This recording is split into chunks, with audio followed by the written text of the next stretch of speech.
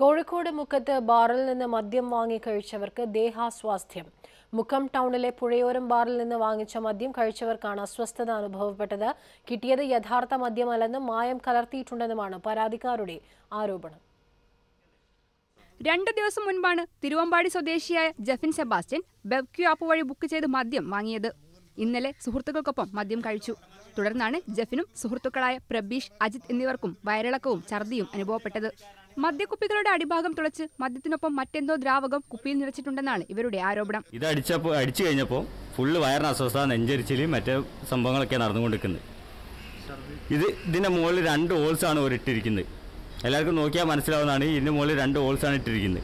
ഇതിന്റെ സാധനം ഊറ്റിയിട്ട് വേറെ ഓട്ട അടിക്കുന്നതാണ്. ഇത് വേറെ സാധനം. ഒറിജിനൽ ബീവറയിൽ നിന്ന് കിട്ടിയ സാധനം. ഇതിന്റെ മുകളിൽ അങ്ങനത്തെ സംഭവങ്ങൾ വന്നില്ല. ബാക്കിയുള്ള എല്ലാ കുപ്പിയിലും ഇതാ. മലയോരത്തു നിന്ന് കിട്ടിയ എല്ലാ കുപ്പിയിലും വന്നതാണ് ഈ സംഭവങ്ങൾ എന്നാൽ ആരോപണം ബാർ മാനേജർ നിഷേധിച്ചു. ലോക്ഡൌൺ തുടങ്ങിയപ്പോൾ എക്സൈസ് സീൽ ചെയ്ത ബാർ മദ്യവിൽപ്പന തുടങ്ങിയപ്പോൾ എക്സൈസ് തന്നെ തുറന്നു നൽകിയതാണെന്നാണ് മാനേജർ പറയുന്നത്. ആരോപണം പ്രചരിപ്പിക്കുന്നവർക്കെതിരെ നിയമ നടപടികൾ സ്വീകരിക്കുമെന്നും മാനേജർ വ്യക്തമാക്കി.